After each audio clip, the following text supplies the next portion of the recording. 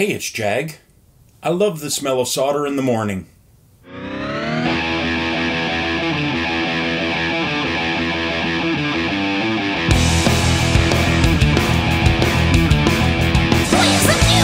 Yeah. Welcome to part four of the Winter Build 2022. Uh, this year I'm building a Trinity Amps custom Plexi 18 watt. In the previous videos, I've installed all of the chassis mounted components, the transformers. Uh, I've gotten the transformers ready for hookup. Uh, today we're going to bust out the soldering iron. So the first thing we're going to do is uh, hook up the heaters. Uh, if you recall, uh, that was supposed to happen in an earlier step before we installed the transformers. Um, I'm doing that out of sequence. Uh, it just made more sense to me to have the transformers and everything installed, and then I can just get to soldering all in one shot, which is what I'm doing today. To install the heaters, we're going to need uh, a twisted pair black and red wire. Uh, it's provided in the kit.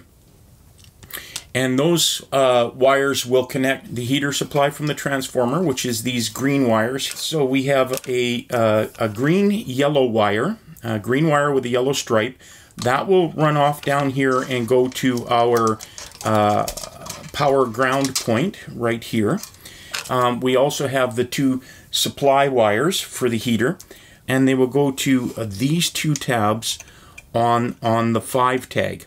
Uh, so it doesn't matter which wire goes to which. This is AC, so uh, we just need to solder one wire each to these two tabs. We will also be soldering uh, black wire to one tab here and a red wire to the other tab and then sending that off to the tubes. We need to uh, make sure that our uh, wires are, are trimmed to an appropriate length.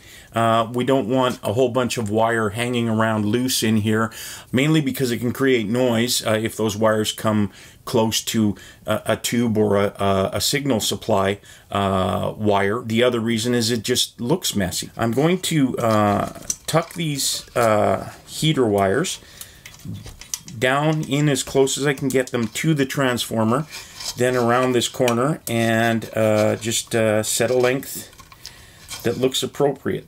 One thing you can do with your offcut wires, keep them. You can use them for wiring other things, and they suggest that in the instructions. Uh, there's no sense wasting it. That's a that's a good six or eight inches of wire there that we can use for something. So strip off about a quarter of an inch of this wire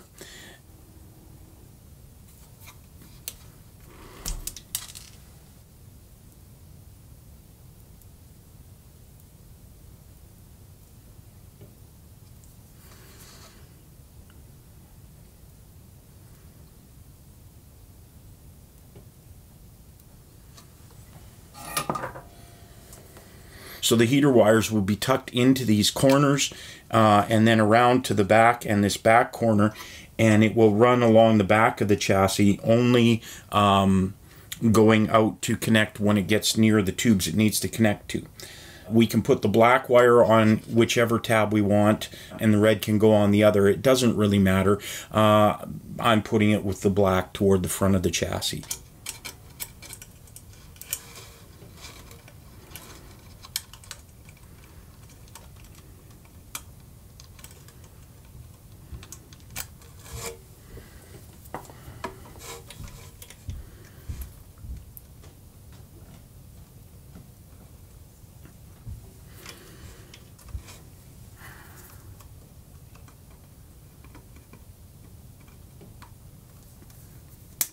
While we're wiring the transformer, we do not want to forget to uh, wire this center tap wire, the green wire with the yellow stripe, to our power ground over here. I'm going to run this close to the uh, uh, transformer and here, and then I'm going to just do a little right angle.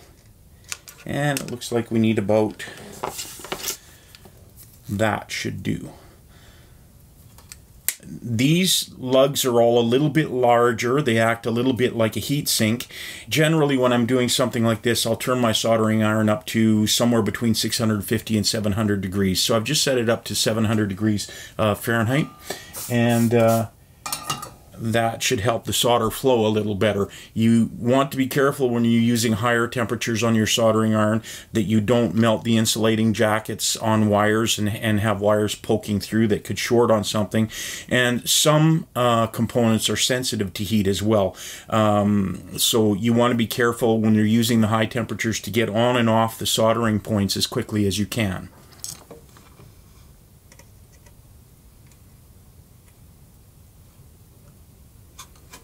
Okay, so that's that wire uh, soldered, and I'm just going to make it neat. Okay, so that's the uh, heater supply wires from the transformer wired over to the 5 tag uh, strip. And we've also got the uh, wires that will go off to the heaters of the tubes wired into the, the same two uh, tabs on that 5 tag.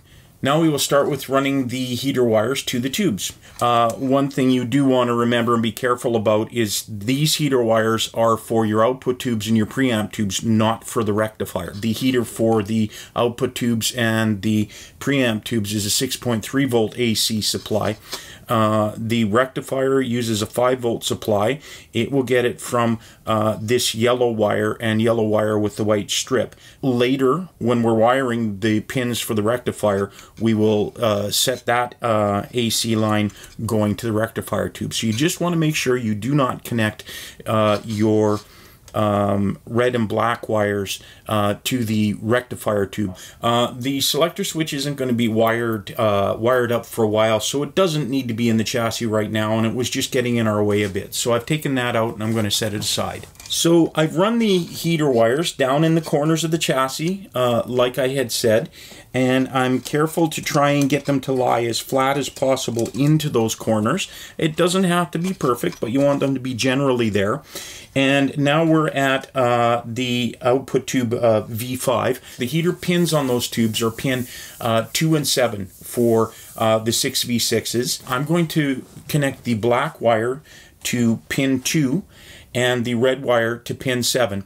And there is an important thing, like I said, this is an AC supply, uh, but the uh, hookup of the uh, power to them is important in terms of polarity, you want to make sure you have the same side of the transformer wires or heater supply wires going to the same pins on the tubes. That also helps uh, with with uh, reducing hum. We will be wiring the black wire to pins 2 on the output tubes, and then from there it will go to pin 9 on the preamp tubes. Uh, the red wires will go to pin 7 on the output tubes, and uh, to uh, pins 4 and 5 on the preamp tubes obviously with pin 2 being here at the back and pin 7 being uh, being opposite almost to it up here, we need a little more of the red wire than the black wire. About there. And then that will go to pin 7. About there. Uh, so the uh, the pins on the tube sockets uh, they have two holes in them and that's really handy for wiring these heaters. I usually wire the incoming wire into the bottom hole on the pin and then the one that goes out I wire it to the top. That way I can put each wire in separately. It's just a little easier to uh, solder that way.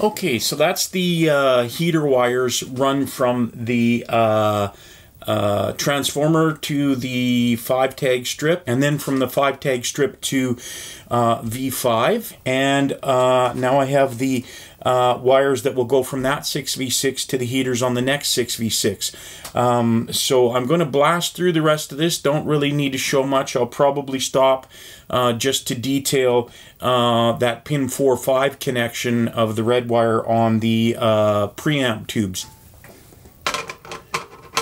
The output jacks are kind of a little bit in the way as well, so I'm going to take them off. Again, they won't be wired in till close to completion of the uh, build, so they don't need to be in there right now.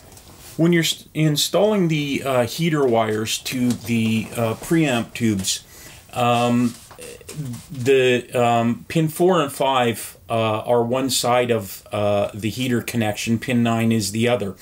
Uh, so you connect pin four and five together. There's a couple of ways you can do that. You can you can take the two tabs and twist them sideways and then squeeze them together. That's the the common way to do it, uh, at least for Fender amps.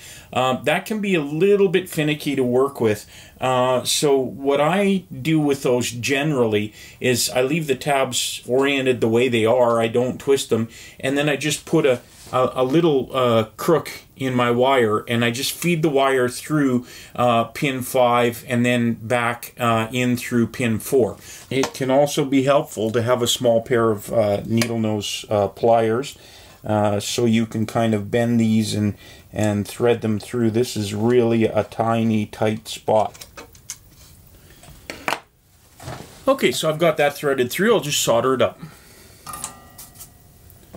because this is solid core wire, you want to try and avoid bending these wires as much as possible, um, especially once you have them soldered to a tab. Uh, they're most likely to break where they connect um, to that tab where the solder joint is. So uh, you want to uh, try and get your wires pre-bent into shape as much as possible and and then install them through the tabs and solder them try not to move them around too much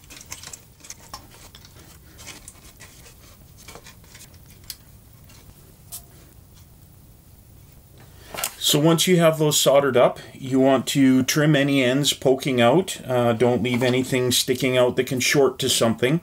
Uh, and then you uh, push your wires back against the chassis and sort of route them so the, the wire runs look neat and the heaters are as far away from the tubes as you can get them.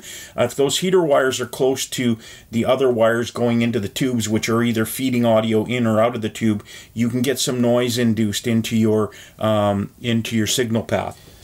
And of course, I wired up uh, pins uh, 4 and 5 and uh, 9 on this preamp tube and I haven't run the wires that need to go to the next tube. So I got some desoldering to do now.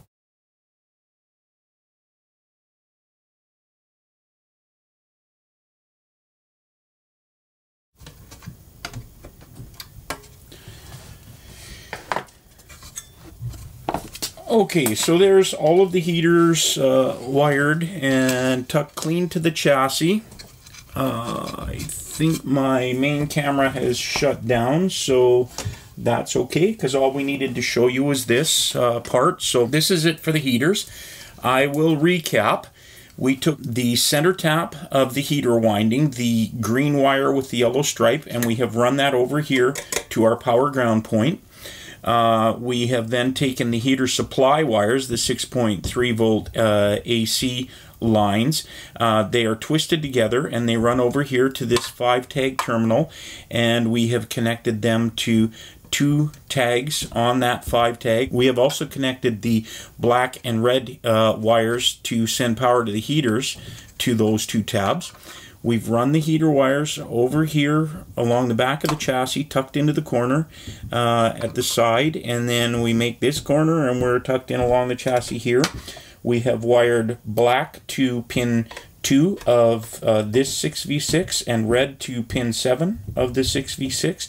We have also then daisy chained from there, uh, black to pin uh, 2 on this 6V6 and red to pin 7 on this 6V6. Then from there we've daisy chained on to the 12AX7s, uh, black on pin 9 on all of them, and red to pin 4 and 5 on all of them.